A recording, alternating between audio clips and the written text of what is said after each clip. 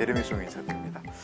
자 오늘 또 저와 함께 어, 진행을 같이 함께 하실 우리 게스트분 어, 우리 옆에 항상 있어야 될 분이시고요. 어, 그리고 항상 제가 말씀드리는 참 어려운 일을 참 잘하고 계시는 분이십니다. 네. 우리 치과 쪽, 치 쪽의 전문가 되시고 전문의 되시는 김영태 박사님 오늘 모시고요. 좋은 얘기 서로 나눠보도록 하겠습니다. 안녕하십니까? 아, 박사님? 예, 안녕하세요. 네, 반갑습니다. 예, 반갑습니다. 그건 되게 잘 지내셨습니다. 아, 예, 너무 잘 지내겠습니다. 보면 볼 때마다 더 젊어지시고 아, 예, 감사합니다.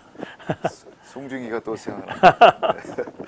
자 오늘은 박사님 또 오신다고 해서 예. 어, 또 인터넷이나 예. 또제 개인 카톡 또는 예. 회사 어떤 팩스로 어, 질문을 좀 모아봤어요. 예, 예, 예. 그 요즘에 이제 두통 때문에 예. 많이 호소하신 분들이 상당히 많은 걸로 알고 있는데 예, 예. 그 두통의 원인이 될 수 있는 부분들은 정말 적지 않겠지만 예. 지금 우리 박사님께서 지금 현재 취급하고 계시는 이런 턱관절로 인한 두통 예, 예. 분명히 있을 거라고 보는데 네, 그럼요. 사실 시청자분들은 잘 모르실 수도 있고 예, 예. 그래서 이 두통의 원인이 될 수 있는 부분이 턱관절하고 어떤 네. 상관관계가 있는지 예, 예. 그거를 조금 쉽게 좀 표현해 주시면 좋겠습니다. 네. 이제 시작하기 전에 제가 일반적으로 두통에 대해 잠깐 말씀드릴 텐데요. 처음에 저 같은 경우도 사실 치과에서 저희 형이 원래 턱관절 한국에서 네, 하고 네, 있기 때문에 네. 두통에 대해서 공부를 하길래 저도 되게 의아했죠. 무슨 치과에서 두통을 하는지. 이분 제가 치과 대학교 학생이었음에도 불구하고 네. 그만큼 저의 치과, 그러니까 두통이랑 치과라는 굉장히 좀 먼 듯한 느낌이 드는데요. 네. 제가 턱관절을 공부하면서 오랄 메디슨을 공부하면서 하다 보니까 정말 밀접한 관계가 있어요. 음, 그래서 일반적으로 지금 미국에서도 American Headache Society 보면 네. 90%는 물론 medical doctor, 음, neurologist를 포함해서 네. 하지만 5%는 치과 의사, 저희 oral medicine처럼 두통학회에 5% 정도 속해 있고요. 어, 나머지 5%는 physical therapy라든지 chiropractic이라든지 네. 이런 식으로 다른 nurse라든지 네. 그런 이제 분들이 포진하고 계세요. 음, 음, 그래서 oral medicine하는 이제 두통을 저희들이 이제 거기서 배우게 되는데 네. 턱관절이 두통을 일으킬 뿐만 아니라 네. 또 두통 자체가 턱관절이랑 저번에도 잠깐 말씀드린 연관통이 있어서 음. 두 가지를 동시에 치료하지 않으면 음. 턱 관절이 치료가 안 돼요. 아 그래요. 예. 그래서 두통을 배우게 되더라고요. 음, 그러면 우리 주변에 보면 실제 예. 두통 때문에 그 호소하시는 분들 예, 예. 제가 이제 뭐 가족이 됐던 주변 저 지인이 됐든 물어보잖아요. 예. 혹시 어젯밤에 뭐 잠을 들잤든지 아니면 우리가 저도 저 케이스도 마찬가지인데 음식 잘못 먹어서 갑자기 소화 불량 되거나 뭐가 이렇게 쓰닥 걸리면 머리가 그렇게 예. 아프잖아요. 예. 그럴 경우에는 지금 방금 말씀하셨던 편두통 쪽에 해당되는 겁니까? 그 편두통일 수도 있는데요. 네. 아닐 가능성이 더 많으세요.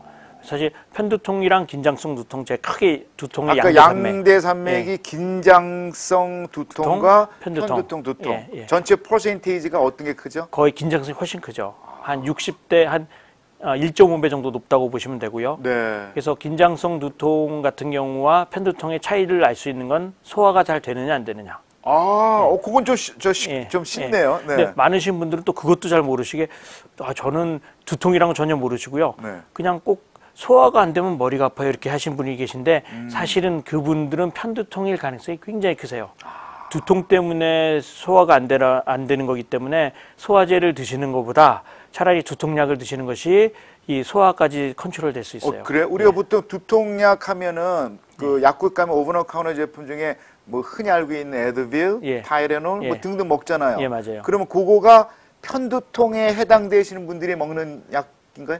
사실은 그거는 정확히 얘기하면 긴장성 두통이 더 효과가 더 크고요. 야, 이래서 우리 공부해야 돼. 예. 아, 그렇군요. 이쪽 파트였군요. 제 환자들 중에도 예를 들면 자기 편두통이 있다고 이제 제가 medical history 할 때 뭐 얘기를 하시는데 네. 사실 제가 볼 때는 편두통이 아니신 분들이 훨씬 더 많으세요. 그러면 우리 김형택 박사님이 지금 턱관절하고 관계 요인된 두통 쪽을 handling 하시는 분야가 예.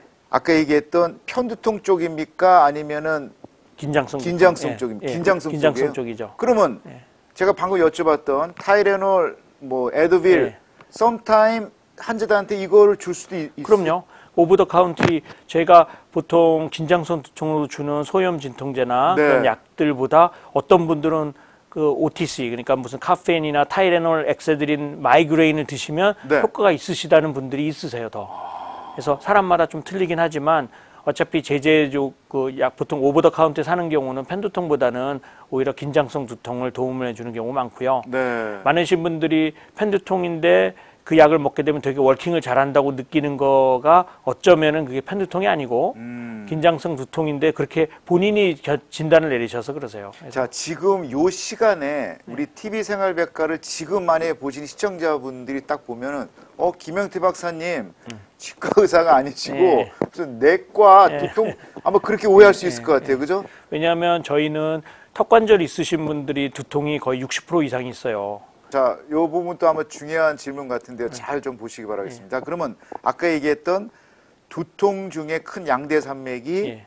긴장성 두통과 편두통이 예, 있다 예, 그러셨어요. 예, 예, 그죠? 예. 근데 그 전체 분량이 오히려 우리가 흔히 알고 있는 편두통보다 긴장성 두통이 더 크다 그랬단. 예. 말이에요. 근데 긴장성 두통에 주는 요인이 턱 관절하고 연관된다 굉장히 그랬어요. 밀접하게 있습니다. 자, 그러면 두통을 피하려면 사전에 예, 예. 턱 관절 예방과 진단이 필요하겠네요. 맞습니까? 맞습니다. 브라보, 브라보.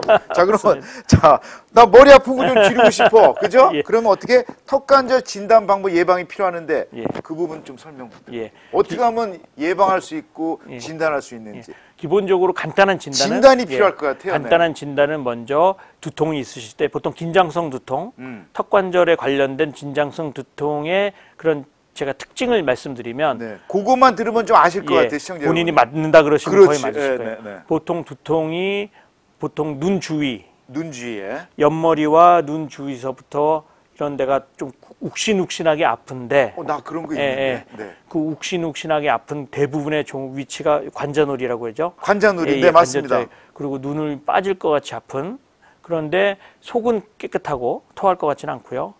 그 두통 그 강도가 10의 절, 절 중간 정도 그러니까 마더레이 페인이라 그래서 죽을 만큼 아픈 건 아닌데 또 하나도 안 아픈 건 아픈데 막 짜증나게 아픈 정도. 지금 말씀하신 내용만 요약하면 예. 그게 우리가 흔히 이야기하는 편두통이에요. 예, 예, 예.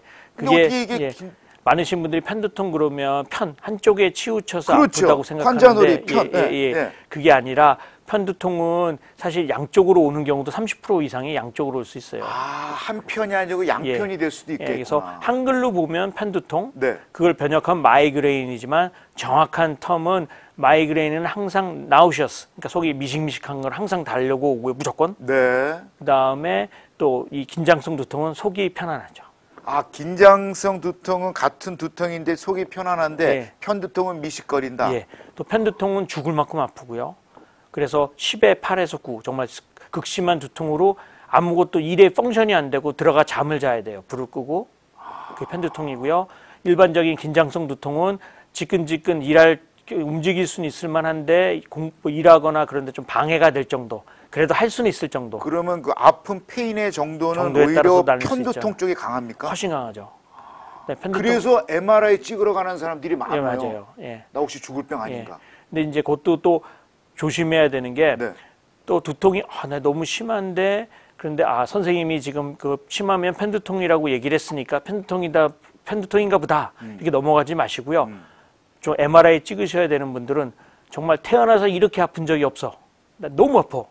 이럴 때는 무조건 MRI 찍어보셔야 돼요. 다른 찍고 나서. 결과가 아무렇지도 않은 경우가 태반이에요. 예, 그렇죠.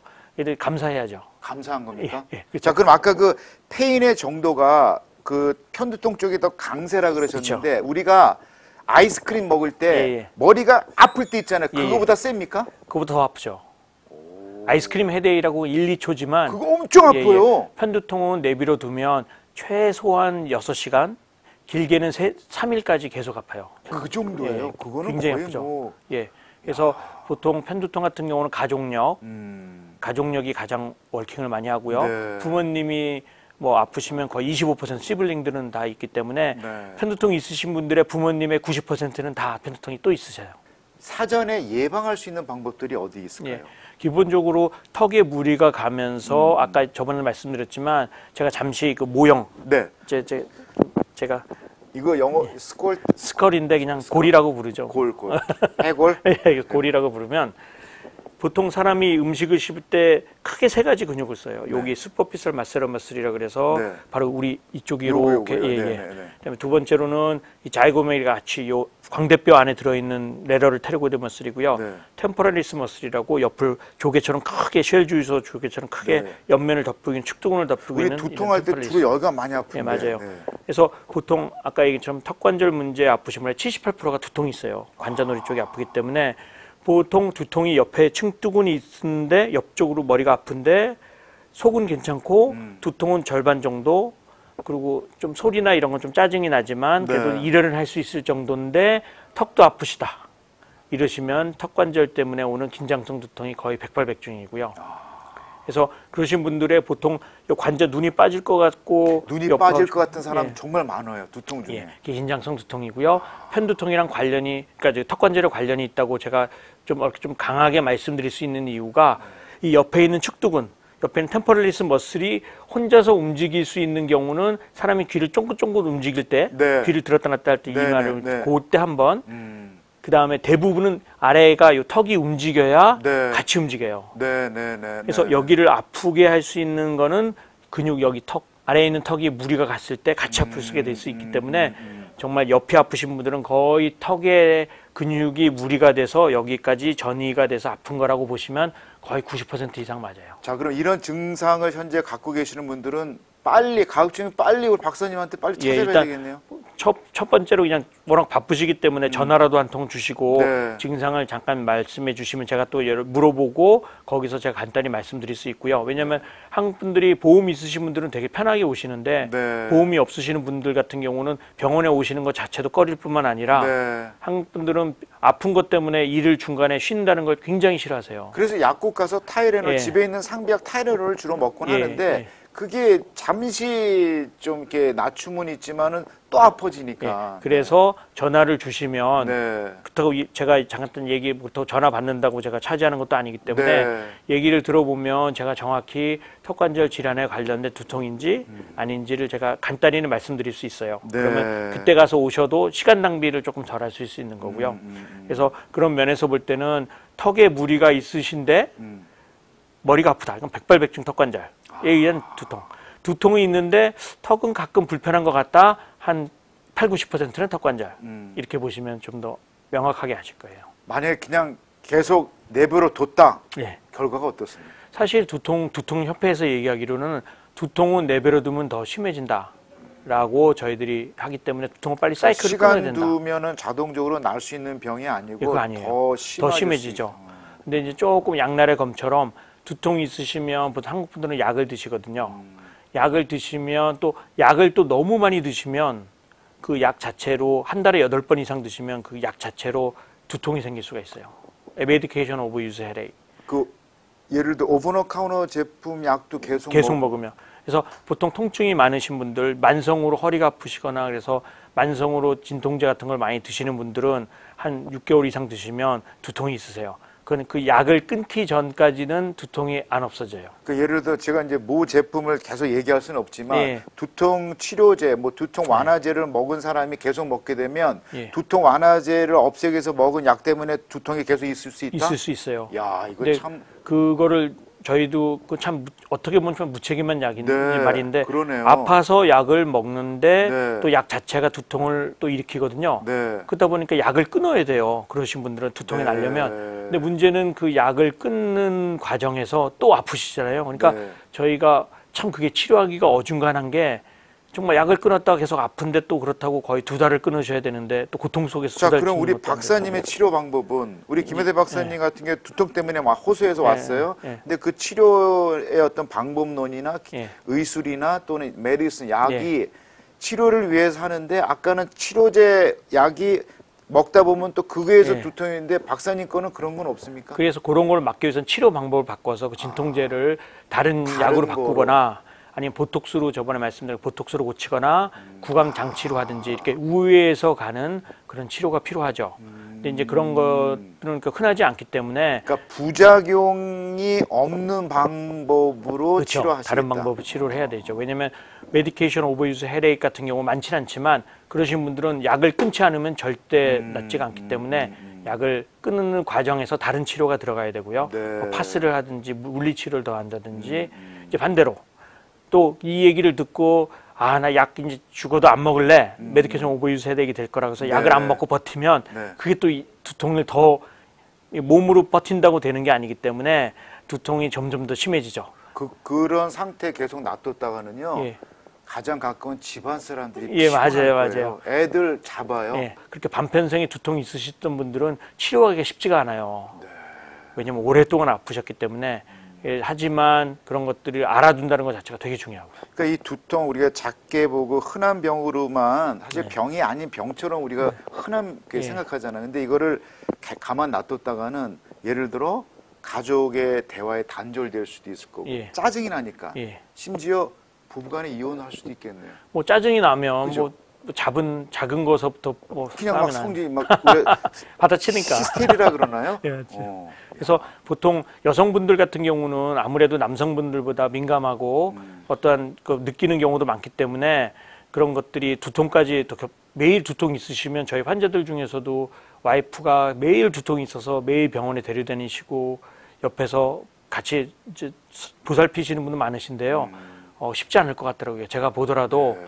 어, 그래서 두통이 집 아프시면 어떻게 되든 저 아니더라도 일반 신경내과를 가시더라도 네. 무엇이 문제인지를 확실히 알아두시는 것이 정말 중요하다고 그러니까 봅니다. 아까 두통의 전체 분량, 원인의 분량이 턱관절로 인한 것만 우리가 빨리 발견만 될 수 있으면 예. 턱관절에 관한 시술만 하면은 그런 부분에 해방이 될 그렇죠. 텐데 절반 이하는 그죠? 좋아질 수 있죠. 모르고 그냥 지나가니까. 예, 맞아요. 어. 그래서 그런 것들은 조금만 더 요, 요 보시고 네. 조금 더 본인이 어떤 진단에 대해서 조금 이렇게 아 이런 상황이 있구나를 알아주시고 음. 저 자세한 사항은 전화 주시면 제가 더 좀 더 자세하게 말씀드릴 수 있고 우리 김형택 박사님이 이제 음. 환자분들을 이렇게 대면 대면 하시고 이렇게 이렇게 handling 하시잖아요. 예. 이 턱관절로 인한 두통 환자들 많이 있습니다. 저희 저희가 턱관절 60% 70% 정도 그 정도 많죠. 그러니까 많으신 분들이 두통 때문에 오시는 분들 아침에 일어났더니 여기가 너무 아파. 음. 심하게 이를 가신다. 이러신 분들은 오세요. 당연히 턱관절 네. 두통 연관된다는 걸 알고 계시기 네, 때문에. 네. 하지만 제가 60%라고 한 것은 저희가 맨날 UCLA에서 매년 저희가 리서치를 해요. 턱관절과 두통의 관계라면 보통 78%, 82%뭐 왔다 갔다 그래요. 그러니까 네. 78%나 82% 정도 두통이 있으신 턱관절 아프신 분들은 두통이 있고요. 음. 또 저 같은 경우는 제가 턱관절을 그런 걸 알기 때문에 턱관절을 물어보면서 두통에 대해서 제가 여쭤보죠. 네. 그러면 처음에는 턱관절 아파서 왔는데 웬 뜬금없이 두통에 대해서 물어보는지 해서 의아해 생각하다가 제가 설명해 드리면 그제서 이해하시는 분들이 그제서야 굉장히 많으세요. 그러면 턱관절로 인한 두통 환자분 중에 성별적으로 예를 들어 예. 여성분과 남성의 퍼센티지 어떤 여성분들이 훨씬 많죠. 한 60에서 70%? 그러니까 정도 우리. 히스테리 예. 많았을 때 남자들보다 여자들은 예. 어 히스테리아 이러잖아요. 네, 저희들이 그 이유를 가물이 리서치에서 찾아보는데도 원인을 모르는데 그런 것들이 아마 호르몬일 가능성. 호르몬. 예, 여성분들은 호르몬도 있고 또 여러 가지 스트레스 느끼는 정도도 좀 틀리고 남자랑 메커니즘이 조금 틀리거든요. 네. 그래서 아마 그런 것 때문에 두통이 좀 더 많이 expose 되지 않나 저희들은 그렇게 보고 있고. 그러니까 여성분들께서 막 이렇게 짜증내고 하실 때 보면 우리가 이제 보통 그러잖아요. 예. 뭐 갱년기 예, 나이가 맞아요. 오셔도 폐경기 예, 때 그 예. 어떻게 보면 턱관절로 인한 두통일 수도 예. 있겠네요. 또 갱년기 무관하게. 갱년기 폐경기 때 턱관절 문제 생기시는 분들 굉장히 많으시고요. 어, 그래요? 예. 아, 고, 아 갱년기 폐경기 때 턱관절 문제가 생기니까 그게 두통으로 예, 그런 경우도 많고요. 첫 번째 갱년기 중 분들은 잠을 잘 못 주무시는 분들은 많으세요. 잠을 못 주문 잠을 못 주무셔도 두통이 생길 수 있거든요. 그러니까 그런 호르몬의 변화로 인해서 저기 잠을 잘 못 주무시고 잠 못 주무시고 몸은 피곤하시고 우울증 생기시고 턱은 턱대로 아프시고 이런 것들이 모든 것들이 다 캐스케이드로 일어나는 것 같아서 일단 뭘 저는 남성이지만 잘 모르겠지만 그런 거에 대해서 남자분들은 조금 더 갱년기라든지 그런 여성분들 계시면 조금 더 신경 써서 좀 더좀 어, 우리가 좀 support 해드려야 될 것 같아요. 해야 되겠네요. 예, 제가 그럼요. 어렸을 때 갑자기 생각나네요. 새벽에 물 먹으러 갔다가 네. 어머니한테 뒤지게 맞았어요. 그게 이제 어머니가 그렇게 갱년기 때였구나 네. 그때가. 어. 그래서 그런 것들이 너무 정말 많은 것들이 벌어지기 때문에 네. 우리 저희들이 남자분들이 뭐 이렇게 생각할 거 이상인 것 같아요. 근데 지금 우리 김영태 박사님처럼 이런 이제 정말 이렇게 디테일하게 어떤 뭐 질환에 대한 부분을 이렇게 아주 컴퓨터처럼 알파고처럼 이렇게 접근하시잖아요. 예. 박사님 같이 공부 안 하셨던 그 세대 때는 이런 문제를 어떻게 풀었나요? 그러니까 그때 당시는 민간요법으로도 많이 했었고 네. 그냥 뭐 연관이 없는 식으로 해서 언노운 두통으로 많이 넘어갔었고 다들 예전에는 아마 알 수 없는 예, 두통. 그쵸. 어. 뭐 그렇게 아프다고 호소하시면 그뭐 시어머니나 어머니 나도 아프다 이런 식으로 해서 넘어가셨고 드라마 아, 아침 그냥, 그냥 드라마 아픈가 보다. 막장 드라마로 갑니다. 예, 가- 나도 그래서, 아프다. 어, 그래서 원래 이렇게 원래 아픈가 보다라고 생각하시는 이제 그런 것들이 많았고요. 네. 사실 그때는 워낙 다른 것들이 힘든 게 많았기 때문에 음. 글쎄요 제가 뭐를 잘 모르겠지만 그 두통 정도는 다 죽을 병이 아니기 그때는 정말 죽을 병이나 이런 것들이 더 삶의 그런 뭐 질에 대해서는 그 지금보다는 좀 떨어 네. 떨어졌기 때문에 아마 그러지 않았을까 아니면 아, 제 어떤 제가. 오늘 그 박사님과 진행하고 있는 이 토픽 자체가 너무 재밌고요. 예. 예, 그래서 아까 이제 다시 결론을 지면 예. 그렇게 어, 두통의 전체 야- 양대 산맥이 아까 예. 했던 편두통 한 3, 예. 40%, 예, 예. 그다음에 5, 60%가 예, 예. 아까 긴장성 두통 두통이자 그랬었잖아요. 근데 우리 김형택 박사님 handling 하시는 부분이 포션이 넓은 긴장성 긴장성 두통 쪽을 다루시는데 그 원인이 턱관절에 인한 부분이 상당히 많다. 굉장히 많고요. 그죠? 예. 자, 이제- 근데 예. 일반 분들이 이런 편두통이나 긴장두통에 대한 원인을 잘 발견 못 하니까 예. 약국 가서 우리 또 집에 있는 타이레놀 또는 그런 헤데이크에 필요한 예. 약을 먹는데 오히려 두통을 없애기 위해서 먹는 약이 장기 복용하면은 그거로 인해서 두통이 더 생긴다. 맞습니다. 그죠? 예. 시청자 여러분, 제가 정리하고 가고 있습니다. 예, 예. 자, 그러면 지금 문제는 김용태 박사님을 통한 두통 그 해결 방법, 해결 예. 타파를 해야 되는데 그 방법은 아까 얘기하셨던 두통을 부르는 해결 방법이 아닌 다른 각도의 해결 방법을 제시한다 그랬잖아요. 예, 예, 예. 그 큰 카테고리가 예를 들어 뭐 어, 구강 장치, 구강 장치, 보톡스, 보톡스, 그다음에 다른 약들. 자, 요 부분은 예. 또 얘기거리가 많으니까 다음 시간에 정말 한 번 더 듣기를 원하고요. 예, 예. 자, 이제 남은 시간 얼마 안 됐으니까 마지막으로 그 두통 환자들 호소하시는 분들을 위해서 예. 좀 이렇게 advice 해줄 수 있는 부분. 그러니까 집에서 간단히 좀 할 수 있는 방법. 물론 final 우리 박사님한테 노크를 하셔야 되겠지만은 예. 정말 너무나 아팠을 때 어떻게 좀 간단 진료 방법 없을까요? 집에서? 기본적으로 두통 같은 경우 너무 아프시면 음. 얼음찜질이 그러니까 냉, 냉찜질이나 온찜질 이런 것들이 도움이 많이 되고요. 어, 양쪽 다 가능합니까? 예, 그럼요. 온찜질? 사실은 사고가 나고 이틀 안에는 냉찜질이 좋지만 음. 사실 냉찜질, 온찜질 막 신경 쓰다 보면 오히려 헤드액이 되기 때문에 그냥 편한 대로 손에 잡히는 대로 따뜻한 거 잡히시면 따뜻한 걸 드시고 차가운 건데 사실 냉장고가 발달이 마- 잘 됐기 때문에 냉찜질이 오히려 두통에는 좋기 때문에 네. 머리 뒤쪽이 아프시다 그러면 제가 다음 시간에 말씀드리겠지만 차가운 걸 머리 목 뒤에다가 대든지 아, 여기 뒤에다가 예. 또 오. 관자놀이가 아프시면 관자놀이 쪽에 대든지 네. 이런 식으로 일단 차가운 거 온찜질 하면 약 먹는 것도 도움이 되지만 그 순간적으로 좀 많이 예, 예, 도움이 도움 되겠네요. 되죠. 어. 그다음에 두 번째로 제가 이분동 하는 거 딱 한 가지만 알려드릴게요. 네, 첫 번째 그거, 딱두 네. 가지. 첫 번째 소프트 다이어트. 그러니까 부드러운 거 드시고 음. 껌 절대 안 드시고 김치라든지 이런 채소로 조금 줄여주시고요. 만약 긴장성 두통이라고 한다면 네. 두 번째로는 스트레칭 엑서사이즈인데 혀를 이빨 위쪽에 붙이시고요. 네. 이런 식으로 하시면 돼요. 아, 그런 식으로. 네. 예. 혀를 떨어지지 않을 정도로 이 바로 뒤에 붙이시고 네. 6초.